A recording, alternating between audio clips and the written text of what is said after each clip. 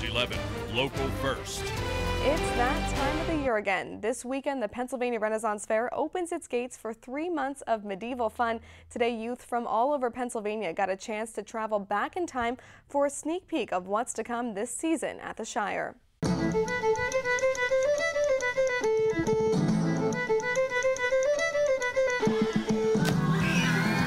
This fair this year, I- think, has the potential to be the best fair season we've ever done.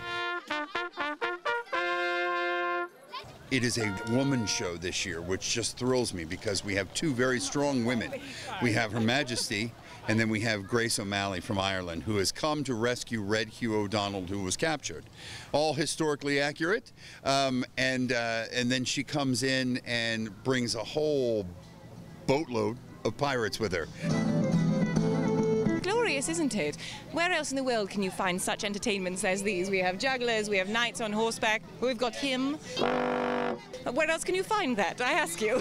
The food's reflective of that. The shopping is reflective of that. There's a glass blower and amazing different kinds of, of crafts that are available.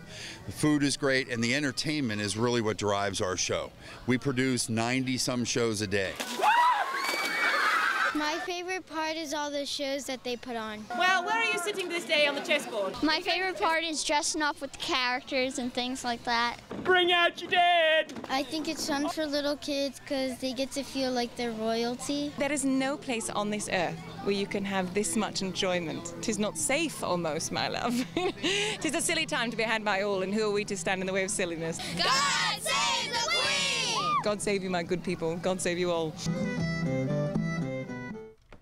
Well, Chad, you know I love the Renaissance Faire, so it was a happy day at work. I loved being there today and seeing all the kids having fun. I love her accent, and I'm thinking this year maybe buying a sword to go with the whole oh, outfit. okay. So maybe you'll dress up with me and we can go one weekend? Oh, I have the kilt. It's ready.